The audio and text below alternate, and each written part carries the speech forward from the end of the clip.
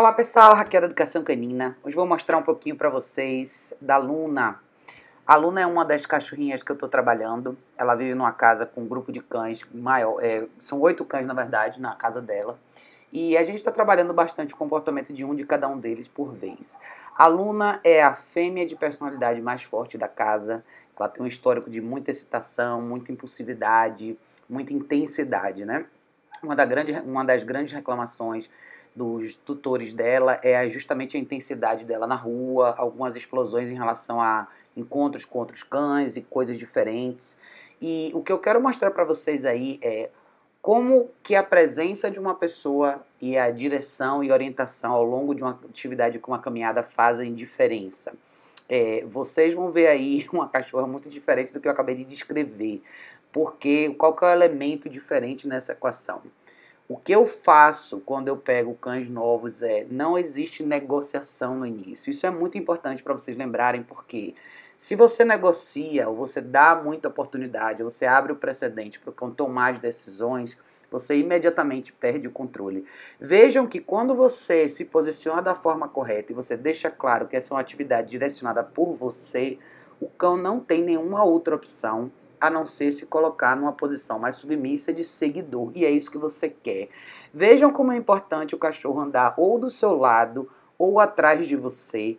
E como isso te dá uma enorme vantagem diante de distrações. Por quê? Porque o cachorro tem que olhar para você primeiro, ele tem que seguir a sua direção primeiro. Quando ele está na sua frente fisicamente, você está lá atrás, ou seja, a sua influência é muito menor. Vocês vão ver aí que a única coisa que eu faço com ela é reposicionar ela em alguns momentos. Ela é um pouco insegura em relação a algumas coisas da rua, ela não tinha hábito de sair muito, então alguns barulhos, algumas coisas deixam ela um pouco incerta, então de vez em quando ela vai para muito para trás de mim. Vocês vão me ver tensionar um pouco a guia quando ela fica muito distante ou quando ela sai da posição que eu quero que ela esteja.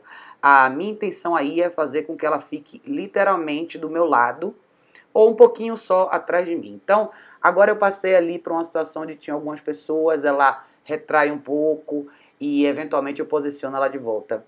É, é interessante você ver o comportamento da aluna aí, porque dentro de casa ela é extremamente dominante, ela é aquela cachorra que chega e vai direto em cima de você, senta no lugar mais alto do sofá, é a que mais desafia os outros, assim, com exceção de um dos machos da casa dela. Então, é importante você ver que a mudança ela pode realmente ser instantânea se você se posicionar da forma correta, se você passar a informação para o cachorro da forma correta. Então, a intenção aí é ela ser a minha seguidora. Eu quero que ela venha comigo nessa atividade. Então, todas as vezes que ela se distanciar um pouquinho, for muito mais para trás, se distrair com alguma coisa, eu chamo a atenção dela só tensionando um pouquinho a guia até ela voltar para a posição que eu quero.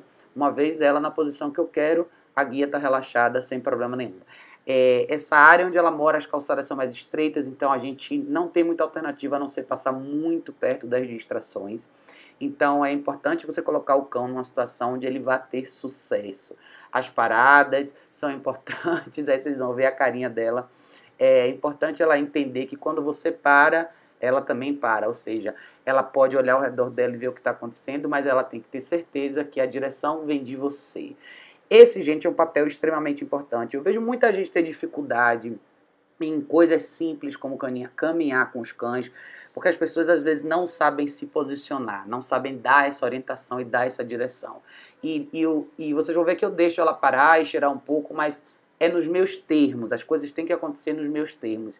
E não é porque eu não quero nunca dar oportunidade do cão fazer escolhas, pelo contrário. Mas antes do cão fazer as escolhas, você tem que ensinar para ele o que é certo e o que é errado. Lembra, gente, esse mundo urbano é um mundo nosso, não é o mundo deles. Então é nossa responsabilidade ensinar o que eles têm que fazer, mostrar para eles como que eles têm que se comportar nesse tipo de cenário, em cada situação. Eles precisam dessa orientação, eles precisam dessa direção.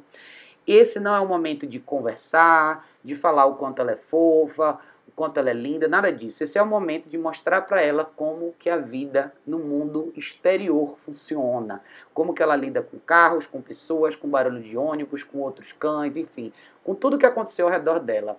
Esse é o momento de você ganhar a confiança do cachorro e muita gente perde essa oportunidade por um conceito errado que é às vezes as pessoas acham, ah, quando meu cachorro sai na rua, é o momento dele, é o momento dele se distrair, é o momento dele fazer o que ele quer. E não é verdade. Muitas vezes a gente perde a confiança do cachorro justamente em momentos como esse. Ele tem que se sentir seguro do seu lado, o cachorro tem que ter a certeza que você sabe o que você está fazendo, para assim ele poder te seguir. Se em algum momento ele se sente desprotegido, vamos dizer assim, ele sente que você não sabe o que você está fazendo, vai ser muito mais difícil para ele confiar em você. Então ele vai ser obrigado a trazer para ele essa responsabilidade e eventualmente ser a figura que vai definir o que vai acontecer ao longo do caminho e não é isso que a gente quer. É aí que começam os problemas de reatividade, os problemas eventuais de agressividade ou de descontrole na guia que eventualmente fazem com que muita gente deixe de caminhar com seus próprios cães. Então, não é uma coisa complexa, tá, gente? É uma coisa, na verdade, muito mais simples e muito mais primitiva do que a gente imagina. É a forma que você se posiciona, é o jeito que você lida com a atividade em si, é a maneira como você é, conduz a atividade com o seu cachorro, é só isso. É, eu não sei se vocês vão conseguir ver, nessa uma, essa é uma hora que eu vou atravessar a calçada e justamente na minha frente vai ter uma pessoa com um cachorro solto, sem guia. Tá vendo? Vocês não vão ver ele, mas o que, que eu fiz? Eu me reposicionei, tá vendo? A cachorrinha tá do lado sem guia. Eu simplesmente me reposicionei e abri espaço da calçada para que ela pudesse passar e a gente continua normal. A aluna tem um histórico enorme de reatividade com outros cachorros e esse foi um grande teste para ela, porque em situações como essa ela iria latir de forma mais compulsiva e de forma mais intensa. E veja porque a gente já criou uma fundação aí, onde o papel dela ficou claro que é, o papel dela é me seguir. Ela nem passou pela cabeça dela ter essa atitude.